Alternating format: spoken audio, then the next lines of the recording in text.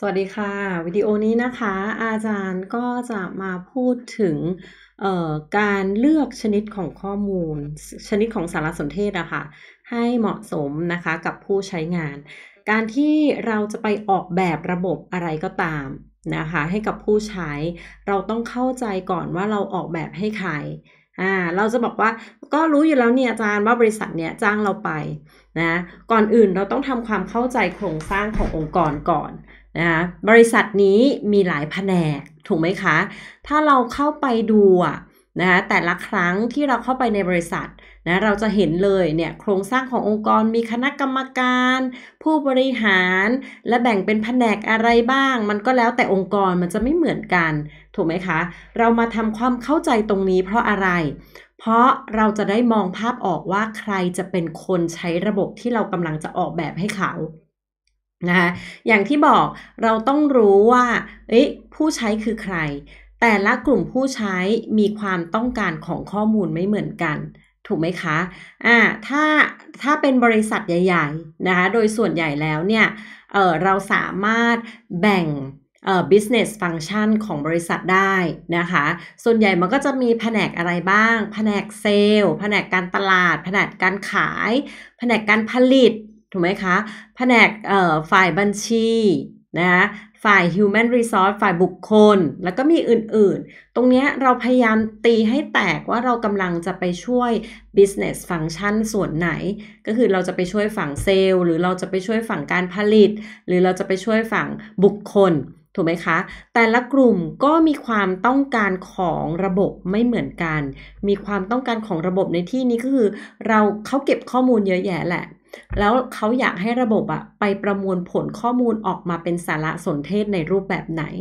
นะคะถ้าเราทราบตรงนี้เราจะเริ่มมองภาพออกอะอย่างฝั่งเซลล์เขาอยากอะไร เขาอยากดูเออราคาที่เปลี่ยนแปลงของสินค้า โปรโมชั่นที่ใช้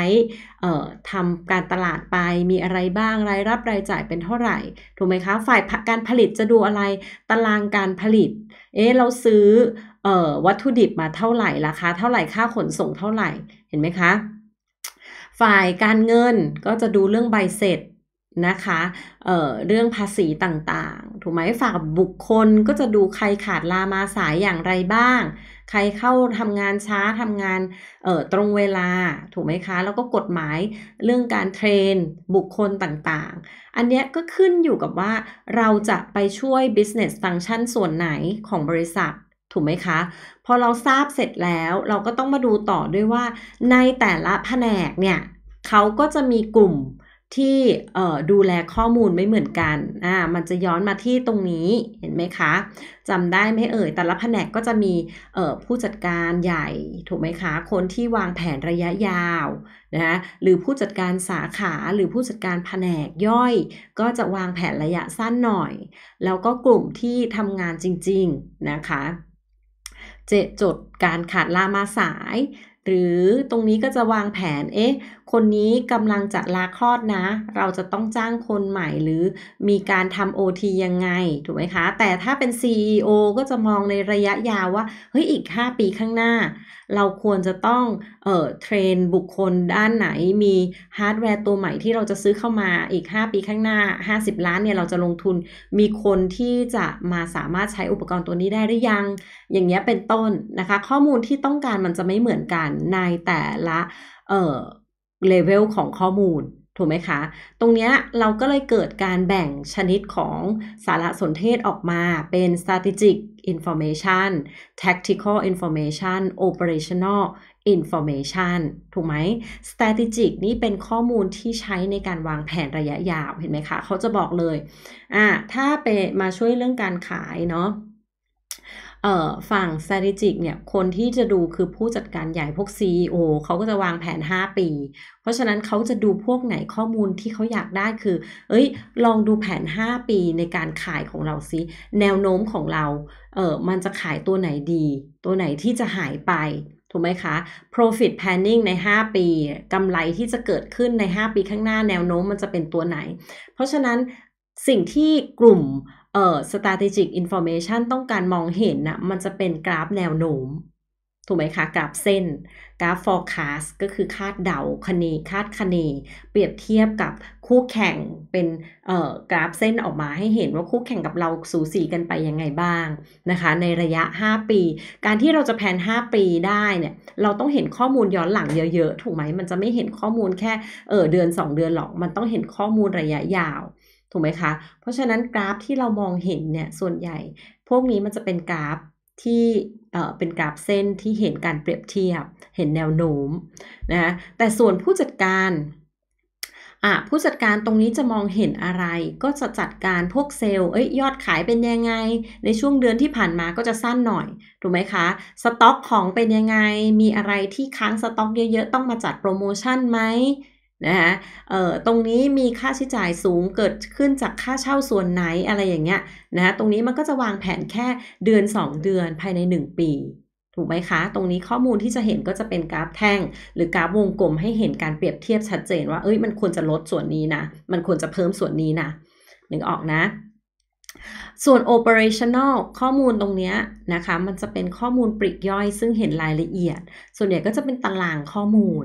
นะคะตารางข้อมูลเออมันจะเป็นยังไงอะ่ะเป็นตารางข้อมูลให้เห็นรายรับรายจ่ายบ้าง หรือตรงไหนที่มีสต็อกเยอะอันไหนขายออกเยอะขนาดขายออกน้อยนะอันจำนวนที่ขายได้ต่อวันต่อสัปดาห์อันไหนอยู่อันดับ 1 อันดับ 2 พวกเนี้ยก็คือเอ่ออาจจะเป็น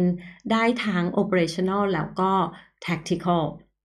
นะ tactical ก็จะเห็นการเปรียบเทียบแต่ละสินค้า เอออันนี้ของเหลือเยอะอะ อาจจะต้องจัดการใหม่อะไรพวกนี้นะคะ แต่ถ้าเป็น strategic เห็นไหมคะ จะเป็นกราฟเส้นข้อมูลหลาย ๆ ปีให้เห็นแนวโน้มนะนะคะให้เห็นแนวโน้มเปรียบเทียบหลาย ๆ ปีนะอันนี้เป็นตัวอย่างของข้อมูลนะนะคะ เวลาเราเลือกมาเราก็ต้องดูว่าแกน x แกน y มันแสดงข้อมูลอะไร เส้นแต่ละสีมันแสดงข้อมูลอะไร เพราะเนี่ยคือสิ่งที่เราจะต้องออกแบบให้ลูกค้า นะคะเวลาเรามีหน้าที่ไปเก็บข้อมูลจากลูกค้า แล้วเราบอกว่าเราจะทำระบบมาช่วยเขา เราต้องเข้าใจว่าเราจะไปช่วยเขาเรื่องอะไรเห็นไหมคะ เราก็ต้องมีจุด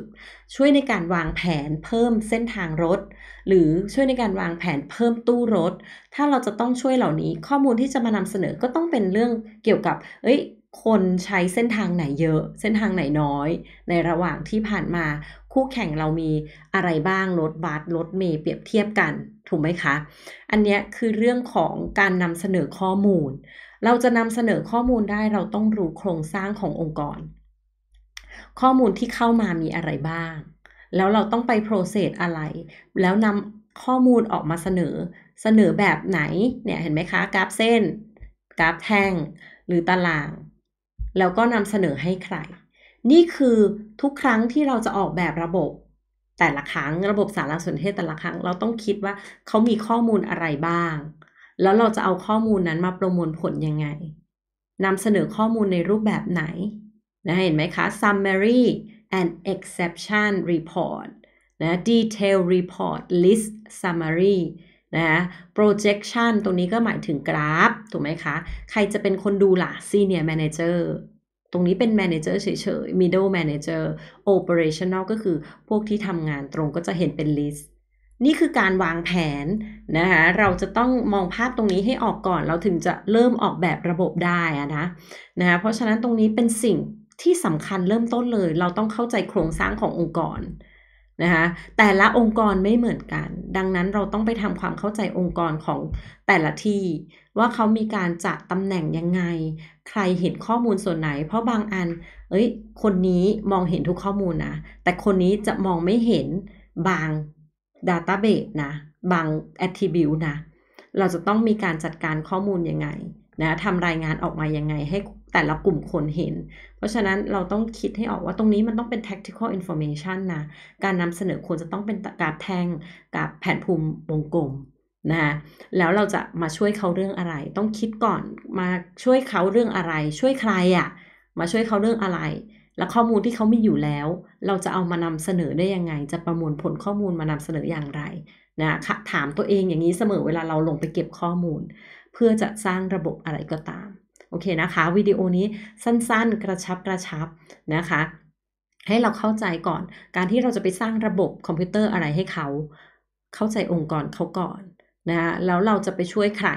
มองภาพให้ออกช่วยคนนี้ต้องเป็นชนิดข้อมูลแบบ strategic information ที่จะต้องเป็นกราฟแนวโน้ม หรือต้องเป็นแบบ tactical ที่จะต้องเป็นกราฟเปรียบเทียบ แท่งหรือแผนภูมิวงกลม หรือจะเป็น operational ที่เห็นเป็น list เป็นรายการ นะตรงนี้ก็อาจารย์อยากฝากไว้ เพราะมันสำคัญมากเลย มันเป็นพื้นฐานของนักออกแบบที่จะต้องมีอยู่ในจิตใจเลยทุกครั้งที่ลงไปเก็บข้อมูลไม่ว่าระบบมันจะวุ่นวุ่นวุ่นยุ่งวากขนาดไหนอะ่ะคุณต้องนึกภาพไม่ออกคุณจะไปช่วยใครนะคะแล้วจะไปช่วยอะไรเขา ข้อมูลแบบไหนที่เขาต้องการ ไม่ใช่ทุกอย่างมันออกมา คุณเก็บเป็นฐานข้อมูลเป็น database เป็น list คุณก็จะเอา list มาแสดงให้เขามันไม่ใช่นะคะ เลือกชนิดข้อมูล ชนิดสารสนเทศให้เหมาะสมกับ ผู้ดูผู้ใช้ โอเคค่ะ วิดีโอนี้อาจารย์ขอพอแค่นี้ก่อนนะคะ หวังว่าน่าจะช่วยเราในการเอ่อทำความเข้าใจเรื่องชนิดของข้อมูลได้ด้วยนะคะ แล้วก็การออกแบบพื้นฐานได้ด้วยนะคะ ออกแบบระบบพื้นฐาน โอเควิดีโอนี้ขอพอแค่นี้นะคะ สวัสดีค่ะ